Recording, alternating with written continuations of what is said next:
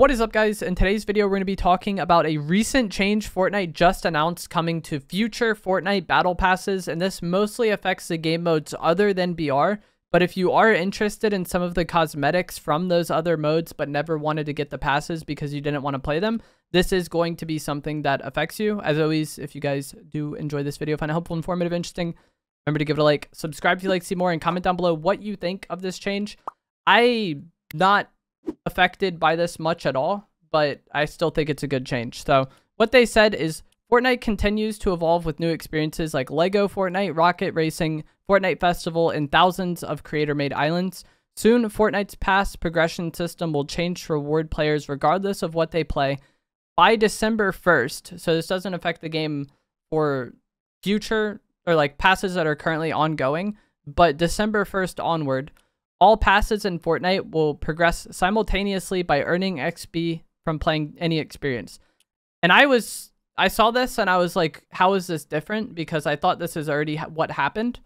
But this is only for Battle Royale currently and it didn't affect those other game modes. So the Battle Royale Battle Pass currently levels from XP gained in any experience, like I said. The next pass to get this treatment will be the upcoming Music Pass, formerly known as Festival Pass.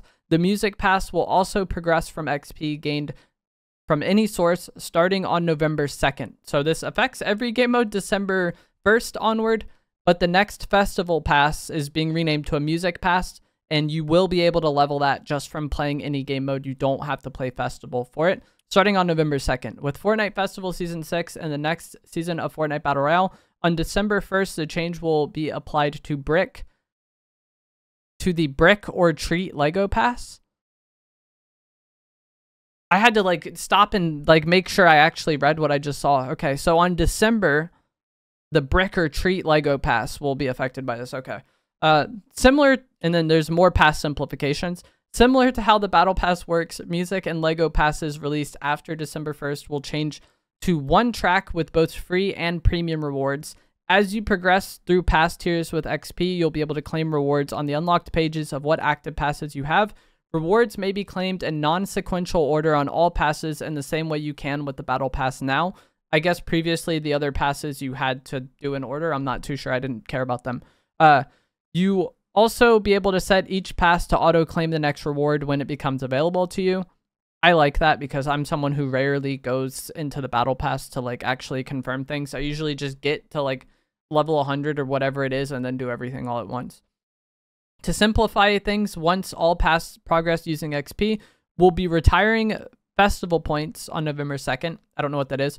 Uh, followed by battle stars and studs on December 1st. Once these earned currencies are retired, the Battle Pass, Music Pass, and Lego Pass will simply unlock rewards for you to claim as you earn XP. Uh, so I don't know what this means. I think as it is now, when you level, you earn battle stars, and then you can use those stars to get what you want out of the pass. But now, I guess you just get a reward for every level, and then once these currency are retired, the Battle Pass, Music Pass will simply unlock rewards for you to claim as you earn XP. So this is I, I yeah, this is kind of confusing to me because they said you can still do it in non-sequential order. So I think you'll still be able to choose what you want, but they're just getting rid of those currencies and just making it one thing, I guess. You still need to purchase the Battle Pass, Music Pass, and or Lego Pass separately to access all premium rewards in each pass.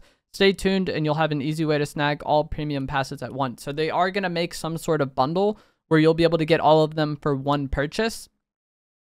Um, I'm wondering if they'll make like an upgraded tier of Fortnite crew that combines it all as well.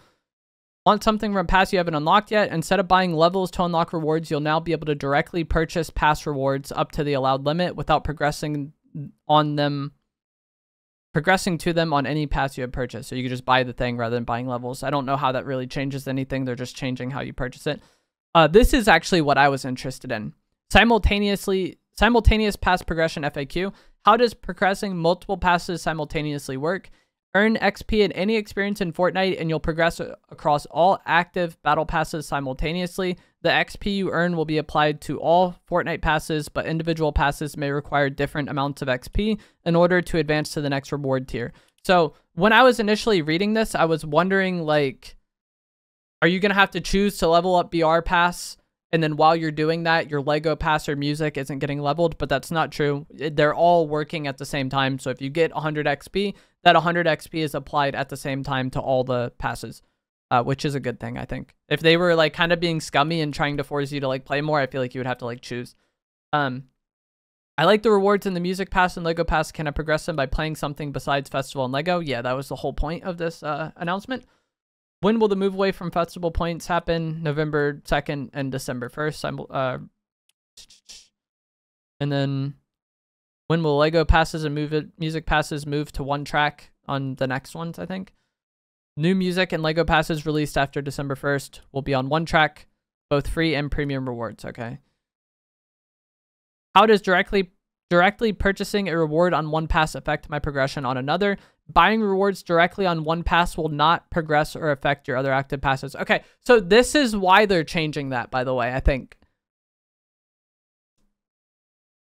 So the whole thing about, where was it at?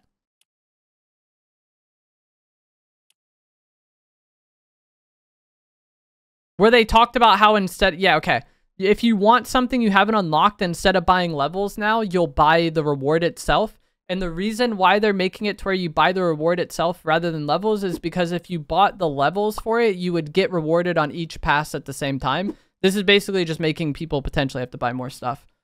If you were buying levels and that level unlocked you something on BR, Lego, and Festival, that'd be a lot of value for that one purchase, right? But now, since you have to buy the thing individually, if you do want to buy levels, you'll buy like progress on your BR pass without buying progress on your Lego or Festival, even though they are all leveled the same. So I think that's why they like made it like this. Um, was so you didn't just buy one pass and then get the rewards on all of them. If you wanted to buy through every pass, it would cost you the amount that it would cost. It wouldn't just all be done on one thing. But overall, I think this is a good thing. Uh, and I think the player counts of Festival would kind of reflect that. Like Festival hasn't been doing great at all. Lego's done okay, but there's a lot of people that are like BR exclusively players still. And you might have been turned off from buying the festival pass in the past, even if you wanted the rewards, because you didn't want to play festival. Whereas like now, if you do like the music pass for that season, or you do like the Lego pass for that season, but you don't want to play those game modes, you just want those rewards for BR, uh, you can level them by playing BR or by playing creative. So I think overall this is a good change. Um, and yeah, there's not too much to talk about there aside from the changes itself. Uh, let me know down in the comments below if you think this is a good or bad change and what you think of, you know, this affecting the game overall. I, I really don't think it's that big of a deal. I, I think early on, they wanted to make the passes separately to kind of like encourage people to play those game modes. But now after a year of that, it seems to not be, you know, working out. And so they're just monetizing everybody.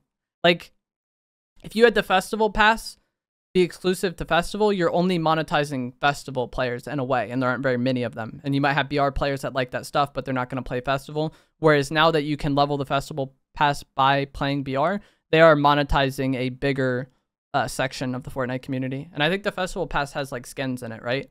I don't know what the Lego Pass has in it, but I'm pretty sure the festival characters, each time there's been one, there's been one in the past and then one in the shop. And if you wanted both, you had to buy the shop one and level the festival pass by playing festival, but now you can play BR to do that. And so with the next festival pass being Snoop Dogg, you will be able to get the festival version of him while playing Chapter 2 Remix, or yeah, I think it'll be Chapter 2 Remix during that time. You won't have to actually play uh, Festival to get it. So I think that is a good change. I think just making it all XP based does just make it simpler. And if you are someone who likes playing all these other game modes and you like having all the passes, this is just going to make it more convenient for you to level them all because everything you do contributes to everything. Uh, the only real concern I had with this or thing that I thought would have been scummy was if they made it to where you had to choose which one you were leveling at that given time and then do it all separately. But since it's all simultaneous, I think this is a good change. Uh, let me know what you guys think in the comments. If you enjoyed this, give it a like subscribe if you like see more, and I will see you guys in the next one. Thanks for watching.